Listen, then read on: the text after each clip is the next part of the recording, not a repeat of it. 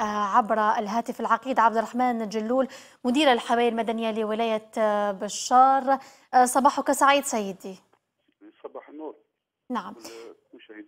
نهار نعم. في البداية يعني هناك طفل في عداد المفقودين بولاية بشار جراء فيضان واد ملياس ببني ونيف في البداية ما هي حصيلة تدخلكم أمس؟ يعني بعد الفيضانات التي سجلتها الولاية. تفضل. شكرا. سجلت مصالح الحماية المدنية هذا اليومين الأخيرين تدخلات عديدة من جراء فيضان الوديان حيث تم تسجيل فيضان الوديان على مستوى ولاية بشار بمدينة بشار وكذلك قطعة فيضان واد على مستوى العبادلة وكذلك على الحدود ما بين ولاية بشار وتندوف على مستوى واد واد الدورة كما سجلت مصالحنا البارحة فقدان طفل يبلغ من عمر سبع سنوات حيث تم تسجيل على الساعة الثامنة صباحا. تدخلت مصالحنا من أجل البحث عنه عبر الواد وإلى غاية هذه اللحظة نحن نقوم بالبحث. كما تم تدعيمنا من طرف عناصر من ولاية من ولاية سيليمسان وكذلك النعامة. من أجل التدخل وكذلك استعمال الكلاب المدربة من أجل البحث عنه إن شاء الله. نعم. لو نتحدث يعني عن الأسباب الحقيقية وراء هذه الأمطار التي غمرت بعض الشوارع والطرق هل هي انسداد لبعض البلوعات أم أو إلى ما يعني ترجعون الأمر بالضبط؟ هي من جراء التساقطات الكبيرة في خلال ساعات حيث سجلنا تساقط كبير بلغ 40 ملم خلال ساعتين فقط.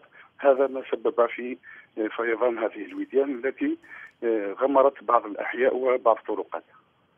نعم كيف كانت يعني عملية امتصاص المياه؟ كيف كان مخططكم الخاص بالنسبة لهذه الفيضانات؟ منذ تسجيل التساقطات الأولى تدخلت مصالحنا من أجل امتصاص المياه خاصة على مستوى مدينة والنيف حيث تدخلنا على مستوى 42 منزل من أجل امتصاص الأمطار وكذلك فتح بعض المنافذ من أجل تسرب المياه الذي كان يغمر بعض الطرقات. نعم مصالح الأرصاد الجوية تتوقع عودة الاضطراب الجوي أمطار ربما 60 ملم كيف سوف تعملون على امتصاص هذه المياه؟ معروف أن أمطار الخريف يعني تدير كوارث كثيرة يعني ما هو مخططكم؟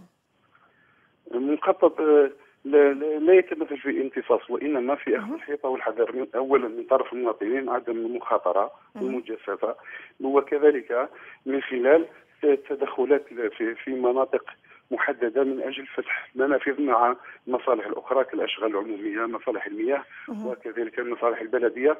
وهذا بتضافر جميع الجهود من أجل تدخل إن شاء الله ومن أجل سلامة المواطنين. كما نطلب أن المواطنين لا يجازفون خاصة بالسير عبر الطرقات اللي تكون يعني تكون مغمورة بالمياه وكذلك الأطفال الذين لا يخرجون وحدهم في هذه المناطق التي يغمرها المياه. نعم شكرا لك العقيد عبد الرحمن جلول مدير الحماية المدنية لولاية بشار على كل هذه التوضيحات.